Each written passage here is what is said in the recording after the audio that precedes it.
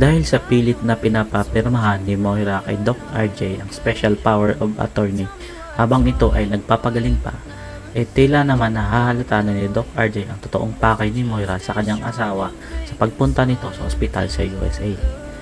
Na pag napirmahan niya na ang special power of attorney ay makakabalik sa Apex si Moira at magagawa niya ang kanyang masamang binabalak. At ito ay kabaliktaran ng sinasabi ni Moira sa kanya na pinoprotektahan lamang siya nito sa mga kalaban niya.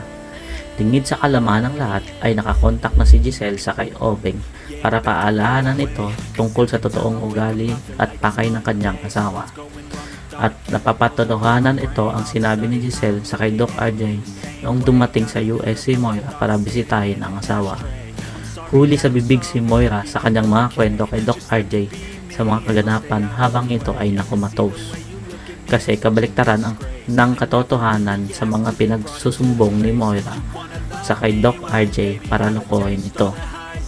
Hindi nila alam na nakapagmatsyag at laging analisado ni Doc RJ ang kanilang mga kilos at pananalita ni Moira at Zoe. At alam ni Doc RJ paano niya mahuhuli ang dalawa sa pagsisinungaling kasi sa umusisa ni Doc RJ na parang pagugado. Pagkatapos tumawag ni Giselle sa kay Doc RJ ay nagtaka ito bakit parang kilala naman lahat ni Doc RJ ang kanyang pamilya at pati ibang detalye ng mga nangyayari sa kumpanya nila na Apex.